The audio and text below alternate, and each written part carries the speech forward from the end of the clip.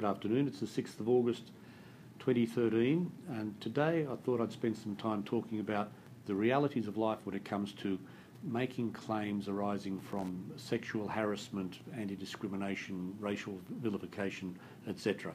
Very common, it's a very distressing thing in the workplace where sometimes people uh, act in the most unsuitable and intimidating way towards other people, particularly in the area of sexual harassment. Um, uh, unsavoury emails, uh, dirty pictures, um, physical touching, uh, and simply being a nuisance, a pest uh, to a fault.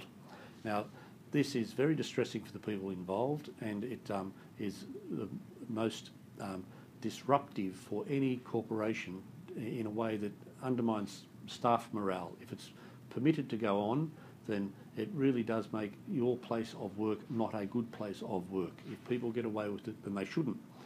But we hear in the press from time to time that someone sues somebody for $10 million because uh, they were sexually harassed, um, or someone uh, is suing someone or other and all of the directors of it because um, uh, they have been racially vilified and there's going to be um, some, ten, some sort of $10 million outcome. There's a couple of cases that uh, come to mind uh, where if the press reports have any foundation at all, then you'd have to say that the board of the corporation concerned is uh, should be replaced because they're spending other people's money irresponsibly and wantonly. For instance, if you've been sexually harassed and you commence action in the um, Human Rights and Equal Opportunity Commission and it winds up in the Federal Circuit Court, followed by the Federal Court, then you can expect an outcome of the order of fifteen to twenty-five thousand dollars. You could also sue for breach of contract, and the most you could possibly contemplate in breach of contract would be about 12 months' pay. So, say if you're on $100,000 a year, and most people aren't, but if you're on $100,000 a year and you successfully sue in the Federal Circuit Court and or the Federal Court, you'll probably get 115,000 as a top amount of money the extraordinary outer limit amount of money.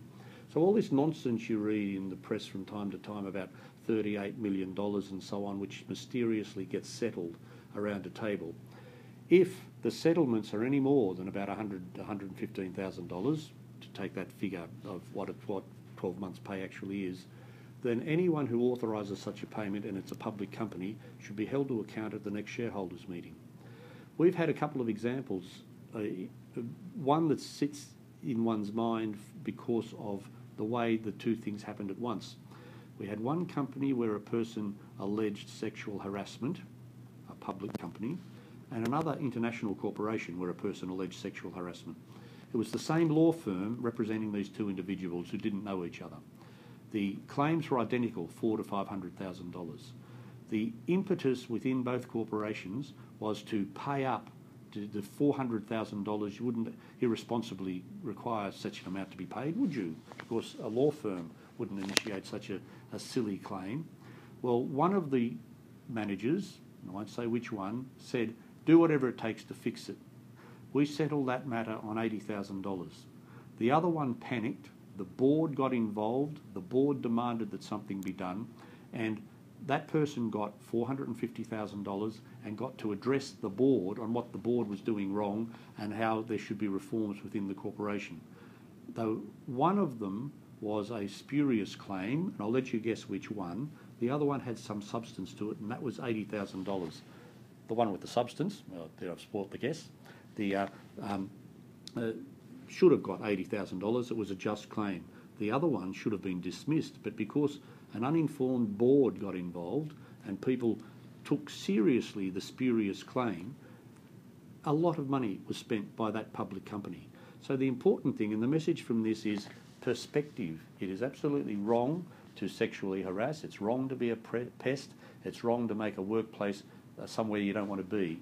But we've got to keep it in perspective. The courts are not lottery offices, and the courts will give away small amounts of money, but not massive amounts of money. And I hope that's been useful. Thank you.